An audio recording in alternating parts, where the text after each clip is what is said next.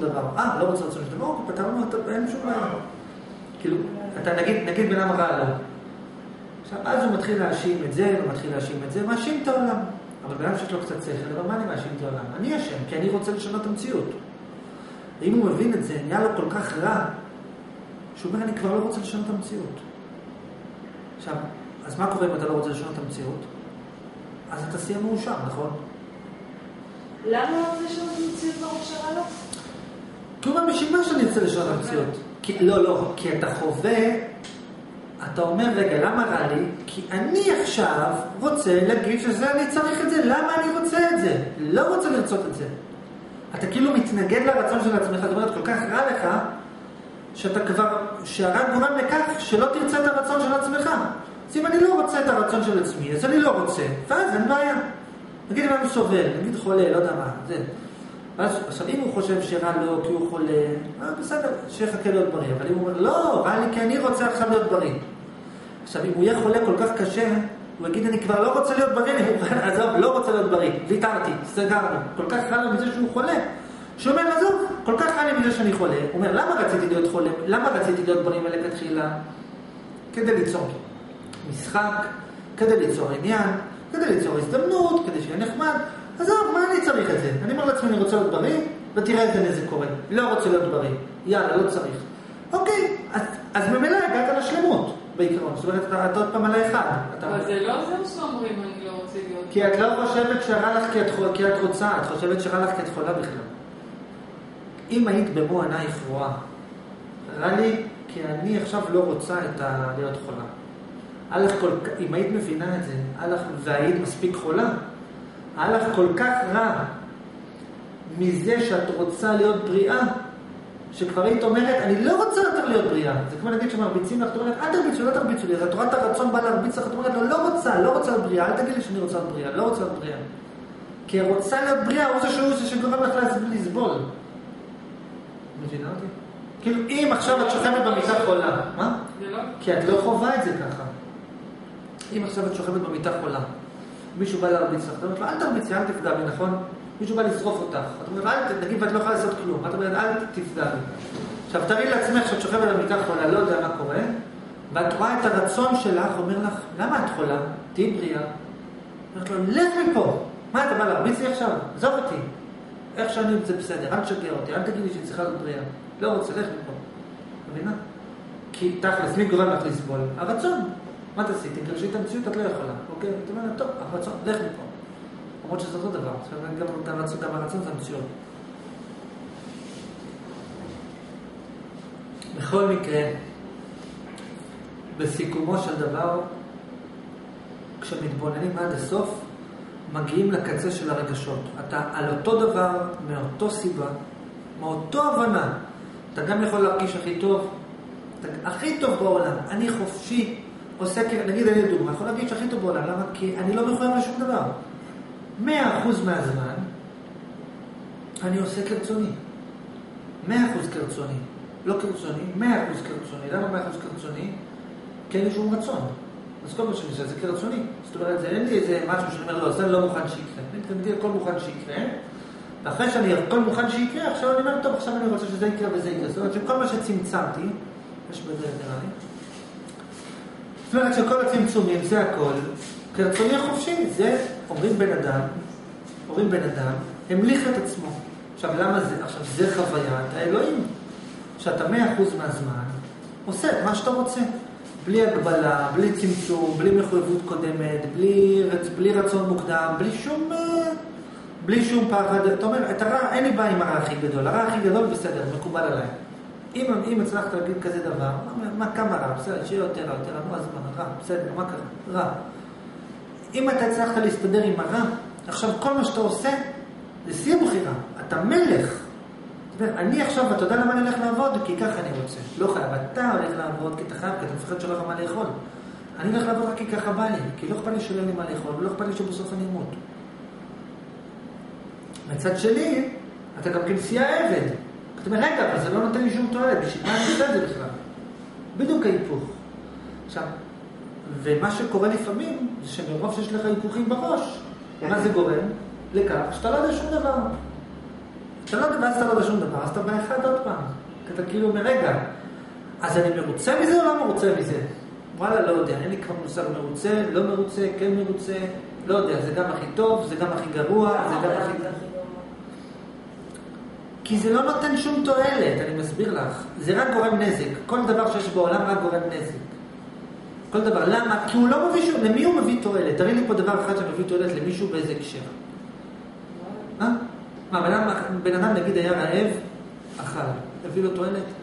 איזה תועלת זה הביא לו? לא, אין לי, בגלל זה אני באה, בגלל זה אז שלא אז- שזה אז אנחנו דבר מבינים למה זה משמעותי, גרוע. לא, אז אני. אבל מה התועלת? נכון, המצב לא, אבל תקשיבי. את מחפשת מה המשמעות, כי את עדיין חושבת שאולי נמצא איזה משמעות. יש לה- תקשיבי, לא שכחי, שכחי, אין. תועלת. עכשיו, אם היית באמת מבינה את זה, את יודעת מה קורה לך באותו רגע? לא היית מצפה לשום דבר. עכשיו, אם לא היית, אם לא היית מצפה לשום דבר, מה היית חובה? שהכל מושלם, מה? שהכל מושלם איכשהו. זאת אומרת, וואלה, מהעולם החיים לא מושלמים יותר, אין לי שום ציפיות, אין לי שום בקשות, שום תלונות, שום דבר. וואלה, זה תחשבי, זה בסדר, לא, מושלם. אתה רוצה לשנות, תשנה, לא רוצה, תשנה, לא משנה. זה לא משנה, זה בכל מקרה גרוע, מה שאתה רוצה תעשה, אז אתה בעצם במושלם. אבל יש גם את ההיפוך.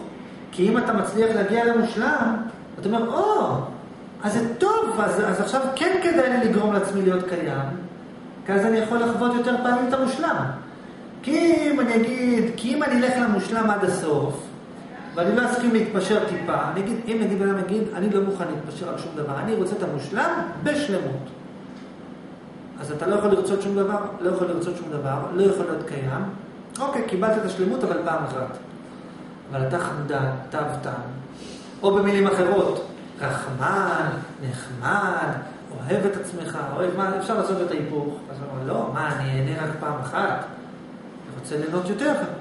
אז בואו נרצה משהו קצת, ועכשיו יהיה לי יותר זמן ומקום, ויהיה לי יותר חוויות ויותר אירועים, ועכשיו בכל אירוע ואירוע אני אוכל ליהנות. מה, אני אהנה רק, אני אהנה, אני אעלם ויהיה לי טוב וזהו? בואו נהיה קיים, ונעשה משהו, ונהנה ממנו, ובדרך אליו נהיה יותר. כן, ואז, אבל יהיו יותר צורות. מה, רק הנאה אחת? בוא נעשה אינסוף שלמויות. זה שיא החופש, וזה שיא השעבוד. למה זה שיא החופש? כי אין לך מחויבות, אין לך רצונות, אין לך מטרות, אין לך שאיפות, אין לך מוגבלויות, אין לך פחדים, אין לך... אין, זה שיא החופש, שיא החופש. מצד שני, אז כל מה שאתה עושה, הסיבה היחידה שאתה עושה, זה כי ככה אתה רוצה. זה שיא ה- שיא האושר. אתה לא מחויב, לא כלום. מצד שני, זה שיא העבדות. כי אתה אומר, אני לא נותן לי שום דבר, אני לא רוצה את זה, זה לא עוזר לי, זה לא זה, זה לא זה, מה אני עושה? אני אומר, זה טוב, זה רע, וזה לא נותן לי כלום. מה אני עושה פה בכלל? אה? שאלה ששאלתי לאחרונה. כן, אבל השאלה אם אתה מבין את ההיפוך. אבל במצב הזה יש שכחה? מה זאת אתה אומרת? זוכר שאתה השלם? שאתה האחד? אם כל דבר שהוא במאה אחוז, הוא לא קיים. מה זאת אומרת אם אתה שוכח את השלם? לא הבנתי. כשאתה בא לעולם שוב, אז אתה חייב לשכוח שאתה השלם. אם אני, אם תוך כדי שאני מדבר איתך, אני אחשוב שמה שאת אומרת זה מושלם, אז אני לא יכול, אז למה שאני אענה לך? תקשיבי, את עכשיו שואלת שאלה, נכון? עכשיו יש שתי אפשרויות. יש גם שלוש, יש שמונה, אבל בואי נלך על שתיים. או שזה שאת שואלת זה טוב, או שזה רע. עכשיו, אם אני חושב שזה שאת שואלת ואין לך תשובה זה טוב, למה שאני אענה לך? יש פרח פורח, למה אתה כותב אותו? אני שואלת שאלה, שתישאר בשאלה. מה, חייב לתת לה את התשובה? שאלה שאלה, טוב מאוד, וזהו, מה, למה צריך לתת תשובה? נשאיר את זה בשאלה. מה רע בשאלה? הנה יש לך שאלה, וואלה, מחיאות כפיים, הצליחה למצוא שאלה. למה, למה, למה, למה לתת תשובה? אז מה אנחנו אומרים? לא, זה רע שיש לו שאלה, צריך לתת לה תשובה. זאת אומרת ש... עכשיו, ומה האמת? האמת היא שיש גם את הצד השלישי. זה מושלם שיש לו שאלה, ואפילו זה גרוע אם אני אתן לה תשובה, ופה זמנית גם את ההיפוך. וגם זה מושלם גרוע. וגם זה מושלם שאני אחשוב שזה גרוע שיש לה שאלה, וזה מושלם שאני אעשה לה גרוע שאני מנסה לתת לו תשובה, ואז אני בעצם אמרתי לו שזה שיש לו- שזה שיש לו שאלה זה לא טוב. אפילו שאני שואל שאלה, אפילו שתביני, כשאת שואלת שאלה ואני עונה לך, אני מאמלל אותך. למה? כי את, כשאת שואלת שאלה, יש לך בראש שתי מחשבות. מחשבה אחת בתת מודע, מחשבה אחת אומרת, לזה שיש לי שאלה, אני לא חייבת למצוא תשובה. יש לך בראש מחשבה שאומרת, לא, יש לי שאלה, אני חייבת למצוא תשובה, נכון? עכשיו, ברגע שאני, ברגע שאני, עכשיו, אם לא הייתי עונה לך, אז היית מרגישה טוב, היית, אז מצד אחד היית מרגישה טוב, והיית אומרת, וואלה, נכון, לא צריך למצוא תשובה. תודה רבה שהוא לא ענה לי תשובה. אבל מהצד שאת אומרת, לא, אבל אני רוצה למצוא תשובה, נראה לי, והוא לא נתן לי תשובה. וכשאני נותן לך תשובה, בעצם, אז מצד אחד את אומרת, זה טוב, זה טוב, הוא נתן לי תשובה. אבל מצד שני את אומרת, הוא עשה לי רע. אני חשבתי שזה מושלם שאין תשובה. למה אני צריך עכשיו למצוא תשובה? שני צדדים. רגע, יש הייתה לי שאלה אחרת. מה את שואלת? שאתה במצב שלך צריך לענות לי, אתה בשכחה? או שאתה זוכר שאתה אחד? זה תמיד, אני אסביר לך, זה תמיד גם וגם. ברמה המוגדרת, אם אני בראש שלי אחשוב שזה ברמה המוגדרת, שימו מוגדרת, ברמה המוגדרת, אם אני אחשוב שהכל מושלם איכשהו, אני לא אענה לך, ברמה המוגדרת. ומצד שני, אני יכול לחשוב, ולכן, כדי שאני אענה לך, אני צריך לחשוב שזה לא מושלם איכשהו, ולהסביר לך שתביני שזה מושלם איכשהו. הרי מה אני מנסה להסביר לך, בסופו של דבר? שזה מושלם שיש לך שאלה בלי תשובה. אבל, אבל כשאני עונה לך, אני בעצם עושה את ההיפוך. מושלם, אני לא אמרתי בהתחלה, מושלם פירושו שאין בו חיסרון. אני מנסה, לג- אני מנסה, מושלם פירושו לא הגיוני. למה מושלם זה לא הגיוני? כי לקחת דבר חסר ולהגיד הוא שלם, זה לא הגיוני. מוש, להגיד על משהו שהוא מושלם, זה דבר לא הגיוני. למה? כי שום דבר הוא אינו השלם. אבל גם מושלם עצמו הוא לא... לך על הסופי, בסדר?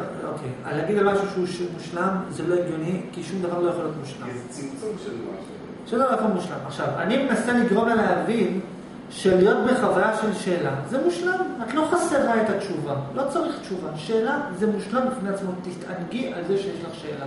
מה את צריכה תשובה? בשביל מה לך תשובה?